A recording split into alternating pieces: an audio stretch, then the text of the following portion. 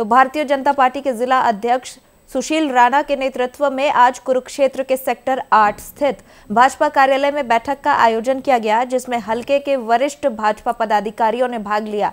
Media से बातचीत करते हुए जिला अध्यक्ष सुशील राणा ने बताया कि आगामी 18 नवंबर को भाजपा के प्रदेश अध्यक्ष मोहन लाल बड़ौली कुरुक्षेत्र पहुँचेंगे, जहाँ वे भाजपा के पदाधिकारियों और कार्यकर्ताओं की बैठक लेंगे। वहीं बैठक को लेकर आज सभी पदाधिकारियों की ड्यूटियाँ लगाई गई है। उन्होंने कहा कि भारतीय जनता पार्टी के सदस्यता अभियान को लेकर बैठक आयोजित की जा रही है, जिसमें शक्ति प्रमुख केंद्र, मंडल अध्यक्ष सहित तमाम भाजपा पदाधिकारी शामिल होंगे। जनता पार्टी जो नए सदस्य बनाने का अभियान चला हुआ है, ये पूरे ज़ोर शोर से सभी कार्यकर्ता लगे हुए हैं।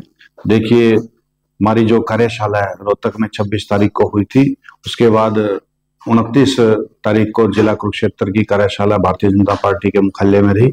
और हम, जैसे हमें कहा गया था कि प्रत्येक मंडलों में कार्यशाला करनी है, उसी नाते चार, पाँच, छह तारीख को सभी मंडल की कार्यशाला हो चुकी है और पाँच तारीख से नए सदस्य बनाने का जो अभियान चला हुआ है, इसमें सभी हमारे कार्यकर्ता लगे हुए हैं और जिन जिन को जो लक्ष्य दिया गया था, उस लक्ष्य को वो पूरा करने में लगे हुए हैं। और पंद्रह तारीख तक का ये नए सदस्य बनाने का अभियान चला था।